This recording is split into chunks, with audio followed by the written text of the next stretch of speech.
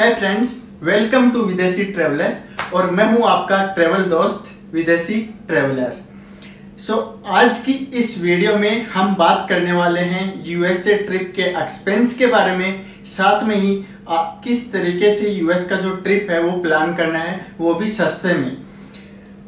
सो so, सबसे पहले उन लोगों से रिक्वेस्ट है भाइयों जिन लोगों ने अभी तक चैनल को सब्सक्राइब नहीं किया है प्लीज़ जाके यार सब्सक्राइब कर लो।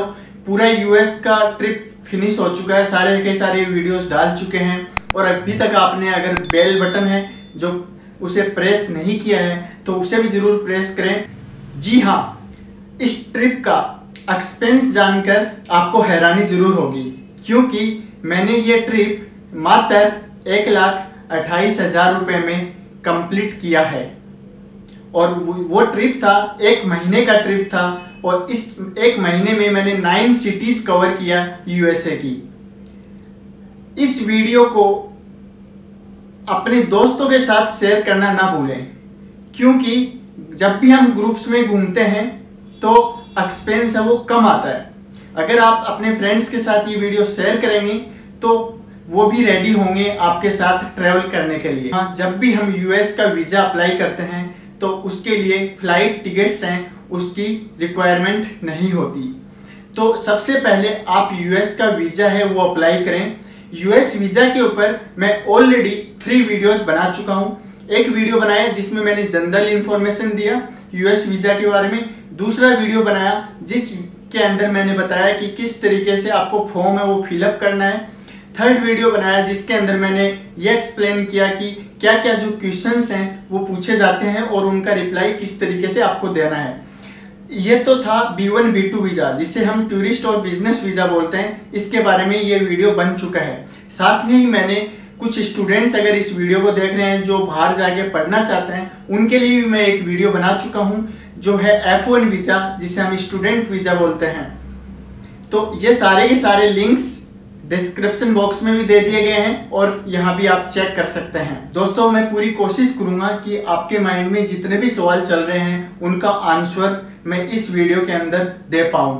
अगर फिर भी मैं ऐसे कुछ क्वेश्चंस का जवाब नहीं दे पाता हूँ या वो क्वेश्चंस रह जाते हैं तो कोई टेंशन लेने की ज़रूरत नहीं है। अपने कमेंट बॉक्स है, उस कमेंट बॉक्स में आप कमेंट कर सकते हैं और अपना क्वेश्चन है, वो पूछ सकते हैं। मैं उसका वन बाय वन सबका रिप्लाई करने वाला हूँ। अब हम बात करते हैं बजट की। सबसे पहले हम बात करेंगे फ़्लाइट जब भी हम फ़्लाइट की बात करते हैं तो हमेशा आपको फ़्लाइट है, वो at least four two five months पहले बुक करना है, अगर आपको सस्ते में ट्रेवल करना है तो। अगर मैं फ़्लाइट कॉस्ट की अगर बात करूँ तो मैंने जो फ़्लाइट बुक की थी, वो पाँच से छः महीने पहले बुक किया था, और मेरी जो जाने की फ़्लाइट थी, उसकी जो कॉस्ट थी फोर्टीन थाउज़ेंड और जो आने की जो फ़्लाइट थी रिटर्न फ़्लाइट उसकी कॉस्ट थी seventeen thousand five hundred it's mean मैंने thirty one thousand five hundred के अंदर मैंने कंप्लीट फ़्लाइट बुक कर लिया। जाते टाइम मेरे पास सिर्फ़ टेन के का बैग था, जिसके अंदर मैंने ट्रेवल किया था, और आते टाइम मैंने शॉपिंग वगैरह भी किया था, इस वजह से मेरा लगेज है वो इंक्रीज हो गया। तो मैंने साथ में एक ट्वेल्व के का एक बैग है, वो भी एड ऑन कर लिया। तो इसकी वजह से मेरी फ़्लाइट कॉस्ट है, वो थोड़ी इंक्रीज हो गई। अदरवाइज़ ये ट्वेंटी एट थाउज़ेंड के अंदर भी कवर कर सकता था। अगर आप भी सस्ते के अंदर फ़्लाइट बुक करना चाहते हैं तो आपके दोस्त ने, विदेशी ट्रेवलर ने एक ग्रुप बनाया हुआ है, विदेशी ट्रेवलर के नाम से फेसबुक पे। साथ में ही इंस्टाग्राम पर भी विदेशी ट्रेवलर का अकाउंट है। वहाँ जाके आप फॉलो करें ग्रुप को ज्वाइन करें। जब भी कोई अच्छी डील आती है तो मैं वहाँ पे वो डील डालता हूँ ताकि मेरे जितने भी दोस्त लोग हैं वो सारे के सारे लोग भी सस्ते के अंदर फ़्लाइट है वो बुक कर पाएँ और सस्ते के अंदर घूम पाएँ। सो so, इसका जो लिंक है वो डिस्क्रिप्शन बॉक्स में आपको मिल जाएगा। Now second point accommodation accommodation में अगर आपको फ्री के अंदर स्टे करना है तो उसके लिए पहला ऑप्शन है काउच सर्फिंग लेकिन यूएस के अंदर काउच सर्फिंग है, काफ़ी ज़्यादा टफ है, क्योंकि यूएस के अंदर कुछ भी फ्री में नहीं मिलता। काउच सर्फिंग आपको कैसे करनी है, ये चीज़ मैं वीडियो के लास्ट में बताऊँगा, और किस तरीके से मैंने काउच सर्फिंग के थ्रू फ्री में स्टे किया। हालाँकि बहुत मुश्किल था, उसके बाद भी मैंने स्टे किया। वो एक्सपीरियंस मैं वीडियो के लास्ट में शेयर करने वाला हूँ तो इस वीडियो को लास्ट तक देखना ना भूलें। अब हम बात करते हैं हॉस्टल की। हॉस्टल है, आप बुकिंग डॉट कॉम से बुक कर सकते हैं। लिंक डिस्क्रिप्शन बॉक्स में डाल दिया गया है। अगर आपको अच्छा हॉस्टल बुक करना है तो मैं आपको सजेस्ट करूँगा यूएस के अंदर एक हाई यूएसए हॉस्टल है। हॉस्टलिंग इंटरनेशनल हॉस्टल है। तो उसके अंदर क्या है कि दो चीज़ अच्छी है। एक तो ये है कि अगर आप उसकी मेंबरशिप लेते हैं तो उसके लिए 18 डॉलर आपको स्पेंड करना पड़ता है। Once you take membership then आपको जब भी आप हॉस्टल बुक करेंगे हाई हॉस्टल से तो वहाँ पे आपको थ्री डॉलर का डिस्काउंट मिल जाएगा। साथ में ही वो फ्री वॉकिंग टूर है, वो भी प्रोवाइड करते हैं। मैंने ये भी पाया कि हाई यूएसए हॉस्टल है, वो काफ़ी ज़्यादा क्लीन था अच्छा था। इवन आप कप कपल भी जा रहे हैं वहाँ पे, तब भी आप उस हॉस्टल के अंदर स्टे कर सकते हैं। जब भी आप हॉस्टल बुक करें तो हमेशा आपको एक चीज़ ध्यान रखनी है कि ब्रेकफास्ट है, वो आपको ज़रूर इंक्लूड करना है। क्योंकि यूएस के अंदर खाना बहुत महँगा है तो ये चीज़ ध्यान में रखनी है। अगर आप हॉस्टल में ब्रेकफास्ट करेंगे तो आपके वो सस्ता पड़ेगा। अब हम बात करते हैं एयरबीएनबी की। आप एयरबीएनबी से भी बुक कर सकते हैं अपना अपार्टमेंट बुक कर सकते हैं। अगर आप ग्रुप में जा रहे हैं, कपल जा रहे हैं या टू थ्री लोग जा रहे हैं तो आप वहाँ से बुक कर सकते हैं। साथ में हॉस्टल जब भी आप बुक कर रहे हैं तो हमेशा अपने साथ में एक लॉक है, वो साथ ज़रूर कैरी करें। अदरवाइज़ आपको वहाँ पे हर जगह लॉक के लिए पैसा देना पड़ेगा, उसका रेंट है वो देना पड़ेगा। तो ये चीज़ आपको ध्यान रखनी। अब आपके माइंड में एक चीज़, काफ़ी लोगों के माइंड में बात चल रही होगी कि यार हॉस्टल क्यों बुक करें? हॉस्टल हम तो होटल बुक करेंगे, हमारे पास तो पैसे भी हैं। ऐसा नहीं है, काफ़ी लोगों के पास पैसे हैं, लेकिन फिर भी वो हॉस्टल में रहते हैं। उसके पीछे रीज़न ये है कि हॉस्टल में हर कंट्री से आपको लोग मिलेंगे और वहाँ पे आपको एक दूसरे के साथ में एक्सपीरियंसेस है वो शेयर करने का मौका मिलेगा। अगर आप होटल में में स्टे करते हैं तो वहाँ पे आप एक अकेले एक रूम में चले जाते हैं और वहाँ पे आपको ना कोई डिस्टर्ब करेगा, ना कोई आपसे बात करेगा और आप वापस आ जाओगे। आपको कोई भी एक नया पर्सन नहीं मिलेगा जो आपके साथ एक्सपीरियंस है, वो शेयर कर सके।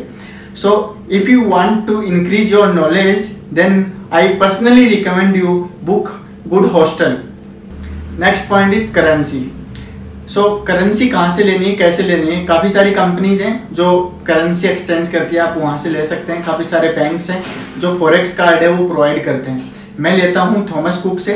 अभी तक मैंने थॉमस कुक से लिया है, मेरा एक्सपीरियंस है, काफ़ी अच्छा रहा है।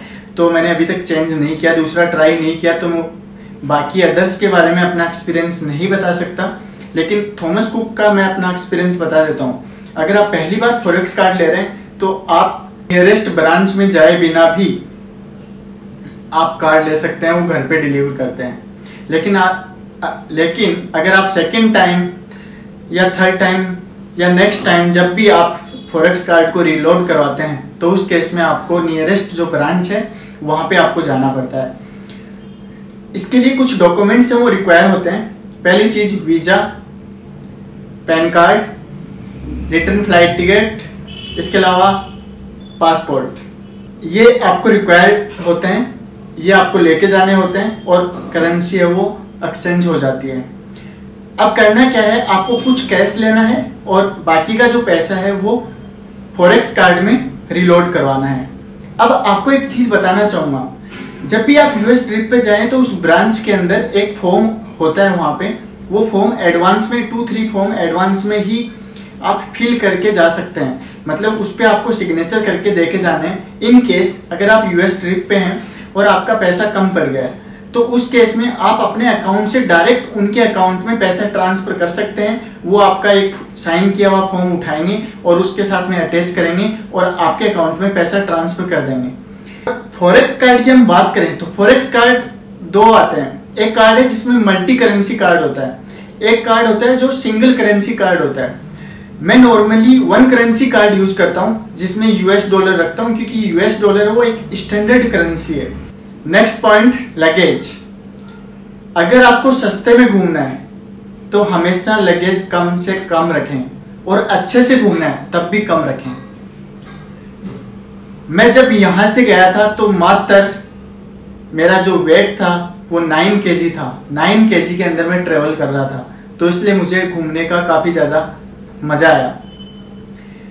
अब आपको क्या क्या उस लगेज में लेना है, वो मैं आपको बता देता हूँ। आप किसी भी ट्रिप पे जाते हैं, जाने से पहले आप वहाँ का टेम्परेचर ज़रूर चेक कर लें। उस टेम्परेचर के अकॉर्डिंग आपकी पैकिंग होने वाली है। सिंपली अगर आप सोलो ट्रेवलर हैं तो two trousers two T shirt इसके अलावा three to four undergarments के पैर हैं, वो ले सकते हैं। इसके अलावा थ्री पेयर्स हैं, आप गुड क्वालिटी सॉक्स ले सकते हैं। अच्छे क्वालिटी के लेंगे तो वो सड़ेंगे नहीं। इसके अलावा आप यूनिवर्सल चार्जर है, वो साथ में कैरी कर सकते हैं। पावर बैंक कैरी कर सकते हैं। इसके अलावा जो नेक पिलो होता है, वो कैरी कर सकते हैं। अगर आप ऐसी सिटी में जा रहे हैं, या ऐसे देश में जा रहे हैं, जहाँ पे ठंड है, या माइनस में टेम्परेचर है, या वहाँ पे बर्फ़ है तो उस केस में आपको ट्रैकिंग शूज़ हैं, वो लेने मस्ट हैं। आप ट्रैकिंग शूज़ हैं, वो डी कैथलॉन से ले सकते हैं। मैंने डिस्क्रिप्शन में लिंक डाल दिया है। वहाँ से आप परचेज कर सकते हैं। डी कैथलॉन की एक अच्छी खास बात यह है कि अगर आपने यहाँ से परचेज किया, ये इंटरनेशनल इसके स्टोर्स मिल जाते हैं। और अगर आपको वो शूज़ है, पसंद नहीं आया तो आप दूसरे देश में उसको चेंज भी करवा सकते हैं। वहाँ पे आपको अगर अच्छी क्वालिटी का मिल गया तो उसको चेंज भी करवा सकते हैं आप।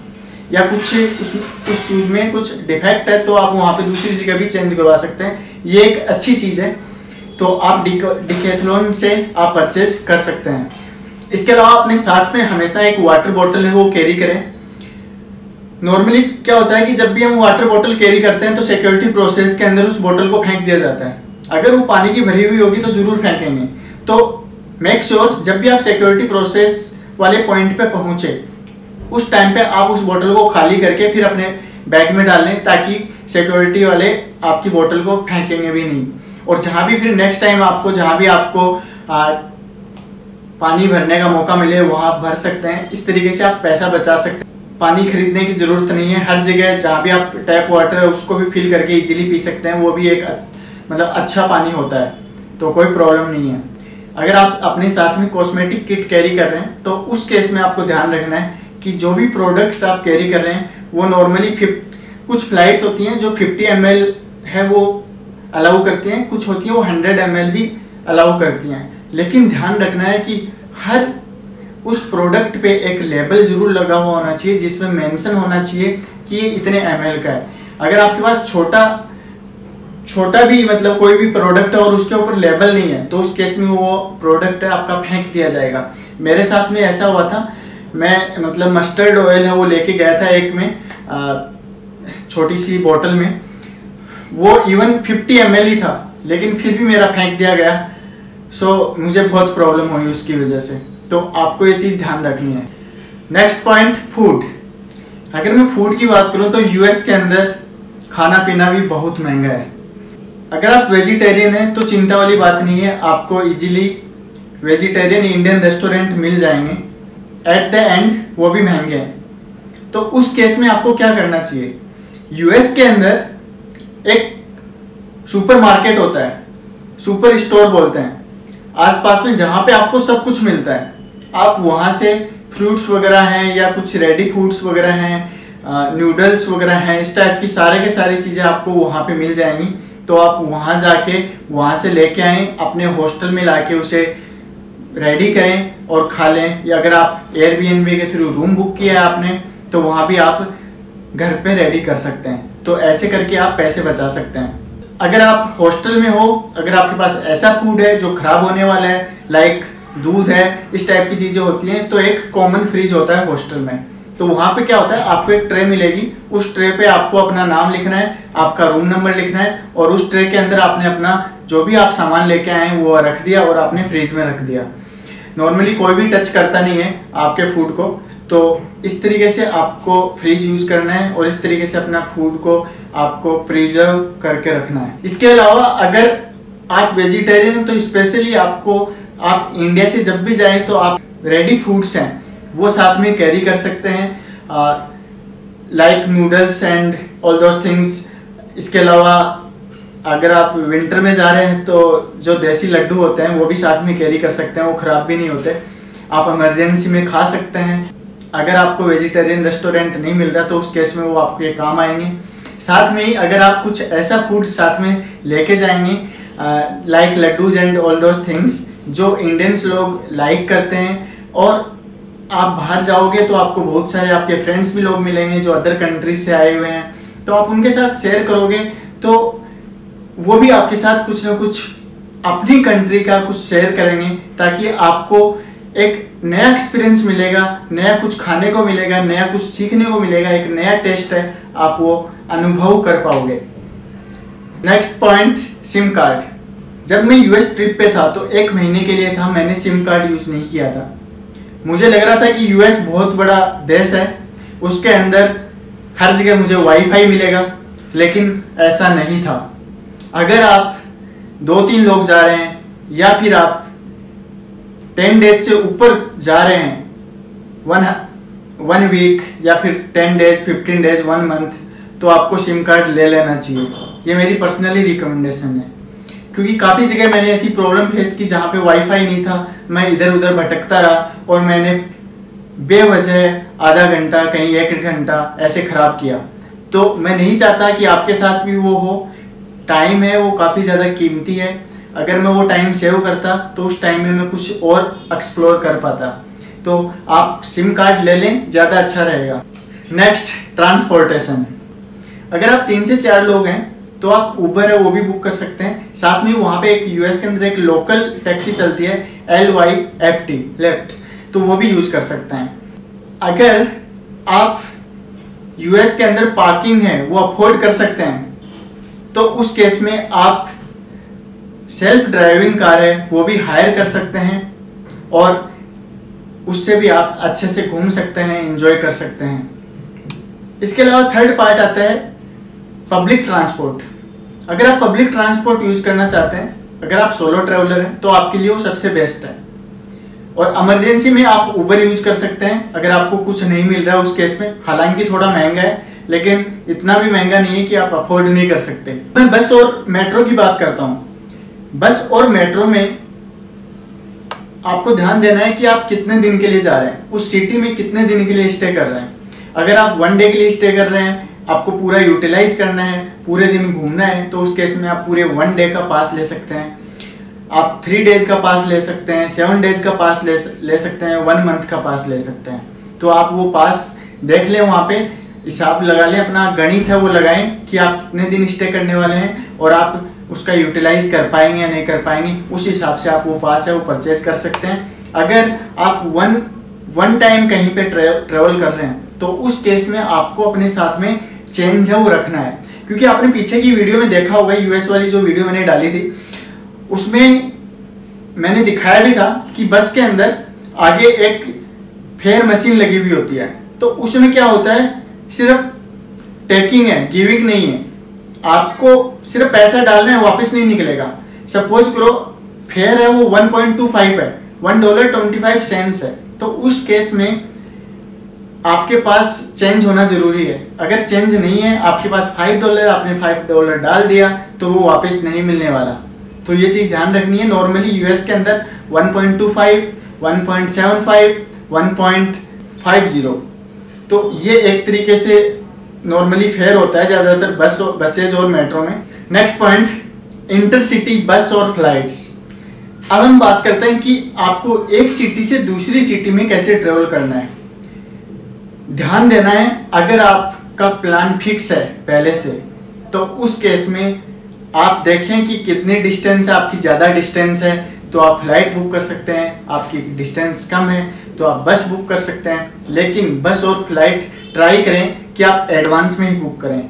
यहाँ पे इंडिया में ऐसा नहीं है, लेकिन यूएस के अंदर जो बस के जो फेयर है, वो इंक्रीज और डिक्रीज होता रहता है। तो इसलिए आप एडवांस में बुक करें। साथ में यूएस के अंदर बस बसेज हैं, उनके अंदर लगेज है, उसकी लिमिट है। जो भी आपका बैग साइज़ है, उसका एक लिमिट है डायमेंशन है। उसी डायमेंशन के अकॉर्डिंग आपको कैरी करना है। अगर आप ज़्यादा एक्स्ट्रा में अगर कुछ कैरी कर रहे हैं तो उस केस में आपको बैग के लिए भी एक्स्ट्रा पैसे देने पड़ेंगे। इसके अलावा बात करता हूँ फ्लाइट्स की। तो अगर मैं फ़्लाइट की बात करूँ तो अगर आप फ़्लाइट की कॉस्ट देखोगे तो आपको बहुत सस्ता लगेगा। लेकिन वो एक्चुअल में महँगा है। महँगा इसलिए है क्योंकि ना तो उस फेयर के अंदर बैग है, वो एड ऑन होता सिर्फ़ एक लैपटॉप बैग आप कैरी कर सकते हैं। इसके अलावा ना ही वो टैक्स है, वो इंक्लूड होता। तो जैसे ही आप फाइनल स्टेज पे पहुँचेंगे तो वहाँ पे टैक्स है, वो इंक्लूड हो जाएगा। और बैग है, हमेशा आपको उसी टाइम एड ऑन करना है। अगर आप उस टाइम बैग एड ऑन नहीं करेंगे और काउंटर पे जाके बैग ऐड करते हैं तो काउंटर पे हमेशा ज़्यादा पैसे है, वो देने होते हैं। तो ये चीज़ ध्यान रखनी है। आपको एडवांस में ही बुक करना है। कोशिश करें आप पहले से अपना प्लान करें और पहले आप इंटर सिटीज़ की जो भी फ्लाइट्स बुक करनी है या बसेस बुक करनी है, पहले ही बुक करें, ताकि आप पैसा सेव कर सको। नेक्स्ट पॉइंट शॉपिंग आपको शॉपिंग कैसे करनी है और कब करनी है? हमेशा शॉपिंग आपको लास्ट के टू थ्री डेज़ में करना है, ताकि आप अच्छे से घूम सकते हैं। शॉपिंग कहाँ से करनी है, कैसे करनी है?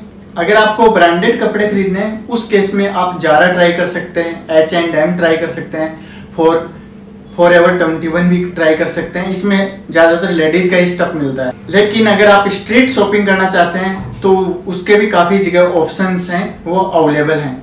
तो नॉर्मली अगर आपको कपड़े खरीदने हैं तो उस केस में आप अपना कैश है, वो यूज़ कर सकते हैं फॉरेक्स कार्ड यूज़ कर सकते हैं। अगर आपको इलेक्ट्रॉनिक्स परचेज करना है तो उस केस में आपको क्या करना है? उस केस में आप ऑनलाइन भी परचेज कर सकते हैं। अमेजोन डॉट कॉम पे परचेज कर सकते हैं। लेकिन ध्यान रखना है यूएस के अंदर जितनी भी ऑनलाइन शॉपिंग वेबसाइट्स पे हैं इवन कुछ भी है वहाँ पे टैक्स है वो इंक्लूड नहीं होता। सो so, जो फाइनल जो कॉस्टिंग आने वाली है वो कुछ अलग आने वाली है। ये चीज़ ध्यान देनी है। तो अमेजोन डॉट कॉम से आप कुछ परचेज करना चाहें वहाँ से परचेज कर सकते हैं। इसके अलावा अगर आप कुछ एप्पल का प्रोडक्ट लेना चाहते हैं तो एप्पल डॉट कॉम से डायरेक्ट परचेज कर सकते हैं और नियरेस्ट स्टोर पे जाके आप वहाँ से अपना सामान है वो पिक कर सकता है। इसके अलावा एक और चीज़ का एक स्टोर और फ़ेमस है B and H photo video ये एक ऑनलाइन वेबसाइट है जिसके ऑफलाइन स्टोर्स भी अवेलेबल हैं। आप ऑफलाइन जाके खरीद सकते हैं ऑनलाइन पेमेंट कर सकते हैं। अब खास बात यह है कि इन तीनों साइट्स पे आपके डेबिट और क्रेडिट कार्ड भी काम कर जाएँगे। स्पेशली अमेरिकन एक्सप्रेस अगर आपके पास है तो वो काम कर जाता है। मैंने ट्राई किया है। जब भी हम अपने कार्ड को एक नई लोकेशन से स्वाइप करते हैं तो सस्पिशियस एक्टिविटी में आ जाता है। तो उस केस में आपको अपने साथ में अपना जो भी कॉन्टेक्ट नंबर है, वो जिस बैंक से कनेक्टेड है, वो साथ में कैरी करना है और वो एक्टिवेटेड भी होना चाहिए। क्योंकि उस केस में आपको एक मैसेज करना होता है और कार्ड को फिर से अनब्लॉक करना होता है, ये श्योर करना होता है कि ये ट्रांजेक्शन मैंने किया है। तभी आप वो डेबिट और क्रेडिट क्रेडिट कार्ड है वो यूज़ कर पाएँगे। अगर आप अपने साथ में मोबाइल नहीं कैरी कर रहे तो उस केस में वो आपका फैमिली मेंबर है, उसके पास में वो फ़ोन होना चाहिए और जब भी ऐसा मैसेज आए तो वो उस मैसेज को कर पाएँ, तभी आप वो कार्ड यूज़ कर पाएँगे। ये जो मैं एक्सपीरियंस बता रहा हूँ, इसलिए बता रहा हूँ क्योंकि मैंने खुद ने शॉपिंग किया था।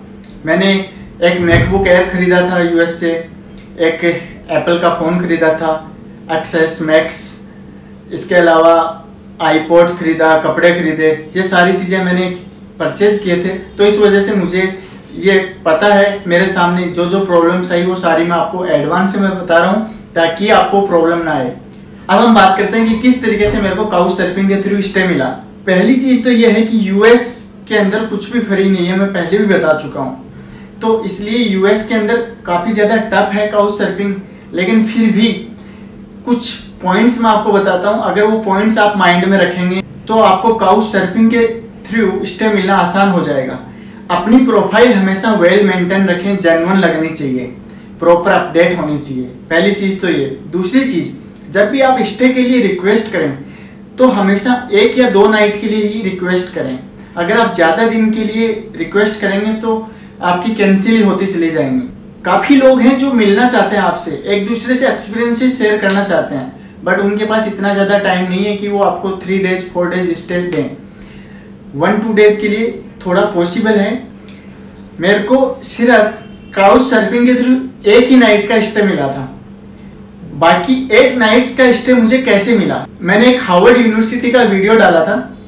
उस हार्वर्ड यूनिवर्सिटी के बाहर ही एक Harvard university Smith campus centre है, वहाँ पे क्या है कि कोई भी आराम से बैठ सकता है, कोई भी आराम से रेस्ट कर सकता है, वहाँ के यूनिवर्सिटी के स्टूडेंट्स भी बैठ सकते हैं लोकल पर्सन भी वहाँ पे अपना टाइम है वो स्पेंड कर सकते हैं रेस्ट कर सकते हैं। एक तरीके से हम बोल सकते हैं कि वहाँ कुछ लोग लैपटॉप यूज़ कर रहे हैं, कुछ लोग आपस में मीटिंग्स कर रहे हैं, इस, कुछ लोग गेम्स खेल रहे हैं, इस टाइप का वहाँ पे एक हॉल है। तो आपको पता है कि मैं अपने साथ में एक बोर्ड है, वो कैरी करता हूँ marriage can wait travel can't तो मेरे बैग के पीछे वो साइन बोर्ड लगा हुआ था और मैं उस हॉल में जाके रेस्ट किया मैंने जस्ट बैठा। जैसे ही मैं बैठा, पीछे से दो लड़कियाँ बैठी थी, उन लड़कियों ने नोटिस किया।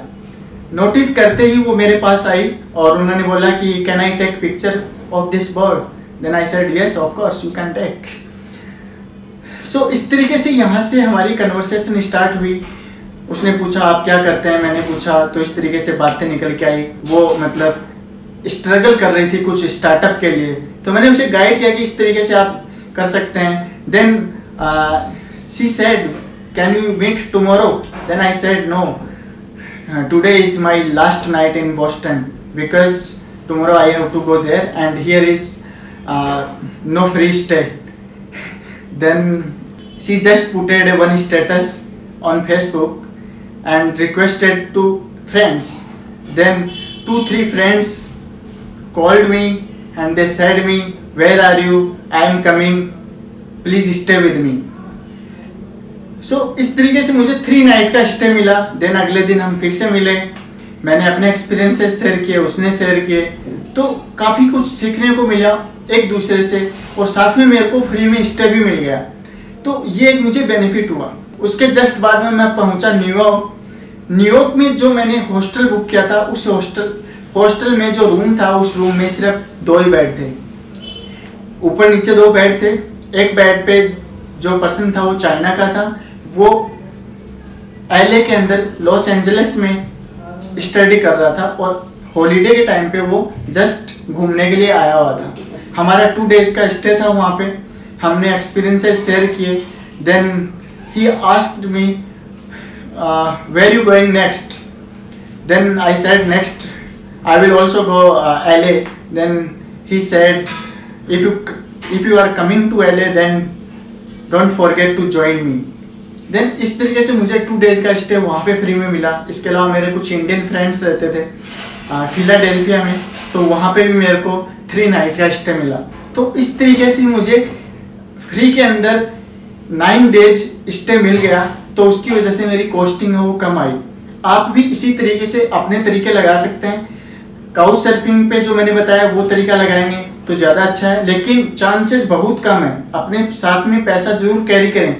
काउच सर्फिंग के भरोसे मत रहें। सो so, दोस्तों आई होप ये वीडियो आपको पसंद आया होगा। आपके लिए काफ़ी ज़्यादा हेल्पफुल होगा। अगर ये वीडियो आपको थोड़ा सा भी पसंद आया तो प्लीज़ इस वीडियो को अपने दोस्तों के साथ शेयर करें, वीडियो को लाइक करें। कमेंट में ज़रूर बताएँ कि ये वीडियो आपको कैसा लगा, और आपके माइंड में कोई भी डाउट है तो आप कमेंट में पूछना ना भूलें। बाय बाय जय हिंद, वंदे मातरम।